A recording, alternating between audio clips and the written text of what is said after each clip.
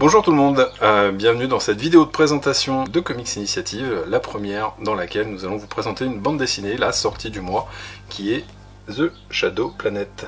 The Shadow Planet, c'est notre première bande dessinée euh, grand format, d'un format similaire à ce que vous avez euh, aujourd'hui avec des titres comme Luminary, Il faut flinguer Ramirez. C'est un titre de science-fiction et d'horreur, dans la lignée des réalisateurs comme John Carpenter, Mario Bava ou des grands auteurs tels que H.P. Lovecraft, Howard Phillips Lovecraft. Voilà, merci mon accent.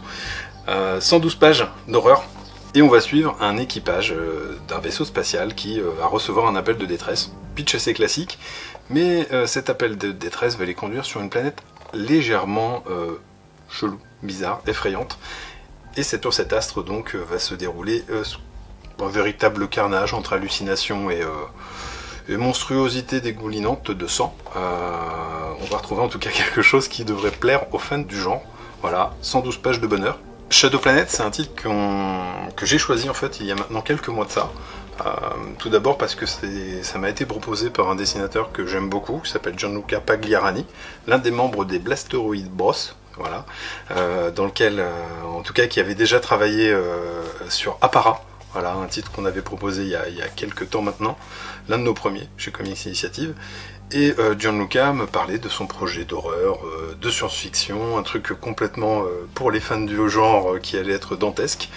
et ça me plaisait. Voilà, le pitch me plaisait, les dessins me plaisaient, et dès l'instant où j'ai pu voir les pages, bah, j'ai adoré. Et les trois auteurs, donc Giovanni Barbieri, Gianluca Pagliarani et Alan D'Amico, m'ont fait confiance pour le sortir en France. Donc déjà, ravi je suis.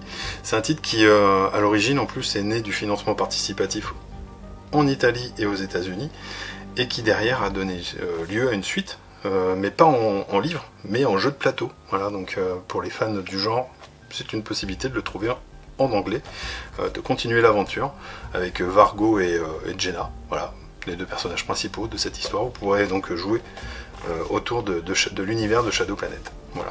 C'est dispo fin du mois de mai en librairie, donc cette semaine, ne tardez pas, achetez-le, il est pas cher, 20 euros. En tout cas, si vous appréciez Shadow Planet, sachez que dans quelques semaines, on vous présentera un autre titre, enregistre horrifique, traité un petit peu différemment, It It What Feeds It, un comics très sympa, mais ça, on vous en parlera euh, la prochaine fois. Voilà. Sinon, la prochaine fois, on vous parlera de ça, la ménagerie insolite, le gros pavé d'ailleurs qui va me permettre de me muscler pendant les prochaines euh, semaines à venir pour les envois. Hop, gros bébé, ça arrive, avec les premières intégrales de Love and Rockets. Mais bon, à bientôt